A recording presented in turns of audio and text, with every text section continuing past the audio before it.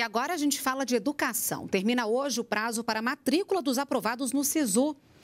Vamos até São Paulo. Raquel Setes tem esses e outros assuntos sobre educação aí para falar com a gente. Bom dia, Raquel.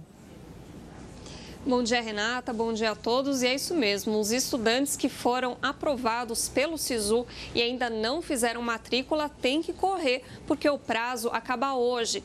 E para aqueles que não conseguiram pontuação suficiente para entrar na primeira ou na segunda opção de curso, hoje também termina o prazo para manifestar interesse na lista de espera. As convocações começam na sexta-feira e seguem até o fim de abril. Novidade também no ProUni. Hoje sai o resultado resultado da primeira chamada. Dependendo da faculdade, o candidato ainda deve passar por um processo seletivo da própria instituição. Foram mais de um milhão e meio de inscritos no ProUni, concorrendo a mais de 250 mil bolsas, quase metade delas integrais.